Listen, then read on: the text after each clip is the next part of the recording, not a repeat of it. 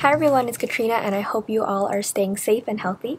So today I have part one of my wardrobe year in review and in this video I'll be talking all about the tips and takeaways that I've been trying to practice to shop more intentionally, specifically when it comes to my clothing and wardrobe. And then in part two, I'm going to be showing you all the pieces that I've added to my wardrobe in 2020. I know some people might be like, yo, it's just clothes, it's not that deep. But after watching documentaries like The True Cost and just learning more about the horrific environmental and humanitarian impacts of the fashion industry, I felt like it was my responsibility to rethink my relationship with clothing and consumption in general.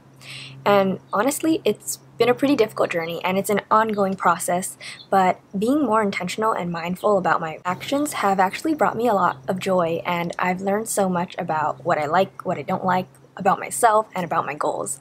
So I'm just here today to share with you what I've gathered so far in the past couple of years, and hopefully you can adapt and adjust to best fit you and your goals as well. So I'm so excited to say that this portion of the video is sponsored by Ana Luisa, and it's going to fit right in with a tip later on, but I hope you all can trust me when I say that I really sift through my emails and only collaborate with brands that really align with my values. Ana Luisa is all about sustainable jewelry at affordable prices, but they're also about intention, progress, and listening to feedback. They curate their pieces and adjust their practices based on the voices of their consumers and their creators, and I'm so excited to be working with them again and to show you the pieces that I got. So my sister actually chose the first piece for me. These are the Celeste mini hoop earrings and they're asymmetrical. So one side is a crescent moon and the other is a little like star bling. And I usually avoid rhinestone earrings, but I think the gems in this are small enough so that it's not too flashy, which I like. So next I got their Temple Black necklace, and this is one I've been eyeing for a couple months now. It's more edgy than some of my regular pieces, but I really like how it's two separate necklaces, so you can wear them layered like this or separately, and I think they look great either way. And last, I got the Ana silver necklace. So Ana Luisa mainly carries gold, but they do have a couple silver pieces, including the Ana silver, and I think this is such a cute and dainty little necklace that will pair well with so many different outfits. Ana Luisa was kind enough to send me an extra set of the Celeste earrings and the Ana silver necklace, so I'll be gifting them to my sister since she can't come home for the holidays. I know she's gonna love them because she's the one that chose both those pieces for me. My sister and I also purchased several Ana necklaces over the Black Friday sale to gift to our cousins for Christmas, and we actually let them choose which color they wanted, and that's something I'm also trying to get into the habit of, to be more intentional with gifting by allowing my recipients to have some choice so that they will actually like and use whatever it is I'm giving them. So if you're looking to treat yourself or to gift some sustainable jewelry to a loved one this holiday season, all of their pieces are buy one get one 40% off, and if you're in the US, all orders over 150 come with their cute little jewelry case that is great for traveling or just storing your pieces. So check them out in the link below and now let's get into the tips. So the first step is a hefty one, but it is so important and it is to declutter slash take inventory of your wardrobe. So you're to take everything out from your closet and you're to figure out what you have, what you forgot you had. You're to try things on to see what still fits and what you want to keep. And I usually have a maybe pile, which is things I might still wear but I'm not sure. And I see if I grab any of those pieces in the next year. And if not, it goes into my no pile the next time I do a closet declutter. The important part is as you're cleaning and decluttering, you want to think about what's missing. So when I did this this time around, I realized that I had a lot more clothes that I felt good in for warmer weather. And I also realized that I had a lot of black. Not because I don't like white, but because I think that it's pretty hard to find like non-sheer white pieces that I like. But if you watch part two, I did find some pieces this year, so I'm excited to add some more white to my closet. So the second tip is to sell your clothes. I use Poshmark, but there's also like Depop, Mercari, and all these other apps out there. But I think it just feels so good when you give your old clothes a new life, a new home, and you get to make money off of it. So I've made $349 on Poshmark this year, and that is almost as much as I spent on clothes this year. So I'm really happy about that. The next takeaway is to normalize secondhand clothing from family and friends. So for me, hand-me-downs have always been a big part of my life. My cousins used to give me clothes and then I would give my clothes to my aunt or my other cousin.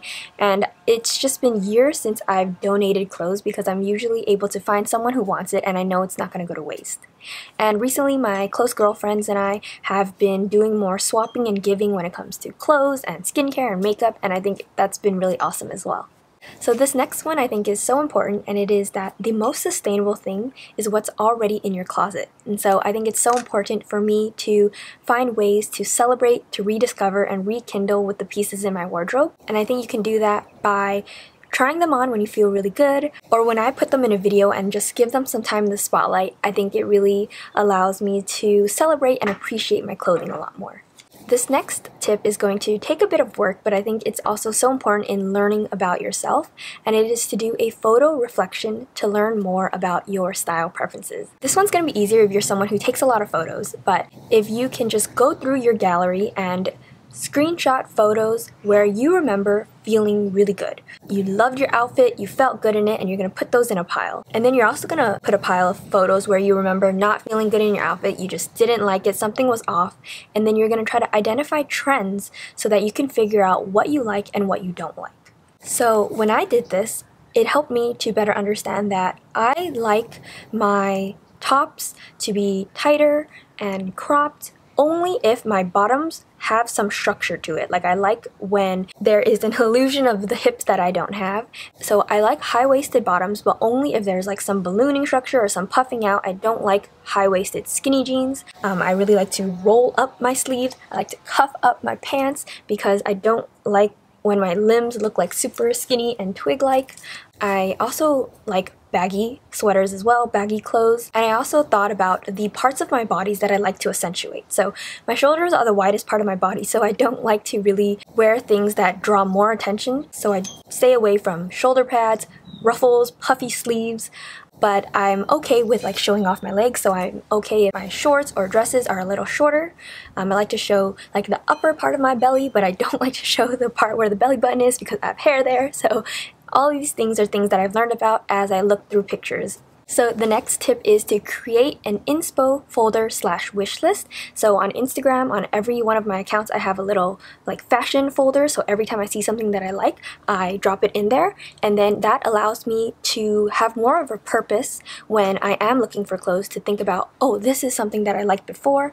Um, on my computer, I have a bookmarked folder and I just drop everything in guilt free that I like without really considering the price tag. I'm just purely looking at the style of the thing. That way I can keep it in mind when I do find pieces that are more in my budget. It also allows me to wait to see if they go on sale and since there is this period of waiting time, I don't know when it'll go on sale, it allows me to think more carefully about whether I actually want the piece or whether it was just like an impulse attraction or something like that. So the next takeaway is just a reminder to myself that the ultimate goal is not to buy or to just really limit my consumption. But if I am buying, I want to make sure that I'm being intentional. And so I ask myself several questions, right? The same thing what am I missing? What can I pair this specific piece with? Does it match something that's already in my closet? Does it match multiple things? Is it versatile? How easy is it to care for this piece? Am I likely to wear this year after year? Is it a timeless piece or is it just a trendy piece? So I try to really think about all these different things. And there's a lot of great infographics that circulate. I'll try to put one here that ask you a series of questions to try to steer people away from impulse buying. This next tip is to unsubscribe from newsletters constantly. Sometimes there are weak moments where I'll re-sign up for a newsletter, but it's important just to continue unsubscribing because out of sight, out of mind. So this next tip is to avoid aimless clearance section browsing. And this was something that took a lot of unlearning because my whole life when I went shopping, whether it was in person or online, I would go straight to the sale section and then I would browse whatever was there and I would usually base my purchases off of price. Was it in my size? Did it have good reviews? And then did I sort of kind of like it? Um, but that led to a lot of impulse buying and not being so happy with my purchases and so many of the things were on final sale so I couldn't even return it. This is why it's so important to have that wish list, to have that inspo folder, to recognize what's missing from your closet so that when you are shopping, it could be in the clearance section, but you still are shopping with a purpose. And I found that when I have a purpose, when I'm there with a goal, my standards and inhibitions are a lot higher and I'm likely to be more happy with my purchases in the end. I've never really been like a super intense shopper, but sometimes there are those moments where I just really want to shop and I just really want to add this and that into my closet. I just want to have the best like wardrobe ever. And sometimes I curb my desires to shop by going online window shopping. So I would just go to some sites look through their pages, add a bunch of things to my cart, and that's it. I don't buy anything. and sometimes I just go into my cart, see the tons of things that I've put in there, and then I sift through and remove things that I don't actually like, and I know that I'm not buying anything, but it also helps me better understand what I actually really like and some things that I just kind of added on a whim. So this next one is potentially dangerous. I think a lot of people might disagree with me, um, and that's okay. I just want you all to know that it has taken me a long time to get to this place, and I might change my mind later, but for now, my takeaway here is that supporting sustainably minded companies is amazing, but fast fashion can be intentional and sustainable as well. So let me just break down some of my thoughts. I think that even with sustainable places, there can be impulse buying, there can be mindless shopping, and there can be overconsumption. A lot of times when we're in places like the thrift store or when we're looking at these sustainable brands, it can be easy to justify that, oh, let me just buy this because I think it's cute, without really critically thinking about whether or not we're going to wear this and whether or not it's going to be something that will last in our closet. And I know that I've fallen into this trap where I'll be at the thrift store and I see something that is like three sizes too big, but I put it on and I'm like, okay, well, you know, if I drape it in a certain way, it might look okay. Like, I think it's kind of cute and it's a cheap price and it's sustainable, but I have to like slap myself in the face and remind myself that if this was at a regular store, I probably would not even think twice about it, and I think I'm only gravitating towards it right now because it is like a hidden treasure and I'm enticed by the price, the thrift store vibe and all of that. But I think it's important to continue being intentional whether we're shopping at a sustainable place or fast fashion. And I just truly don't like this narrative that says fast fashion equals bad quality. Yes, there are some pieces that are poorer qualities than others, but some of my most durable, longest lasting pieces in my closet are from Forever 21, from H&M, and I'm going to continue wearing those pieces for years and years to come. And I think that is more sustainable than any piece that I can buy from a sustainable, expensive brand if I'm only going to wear it for a little while. And honestly, the few purchases that I've made from sustainable brands that tout their high quality organic pieces have been incredibly disappointing. And I feel like it's such a like a stab to the heart when you fork out so much money, when you think about it so much and then you're disappointed in the quality of the piece from a company that is talking about how wonderful their pieces are just because they're made locally or they're made ethically. So my next takeaway is to beware of free and this is more a nod to my own collaborations and to giveaways. So I'll talk about collaborations first.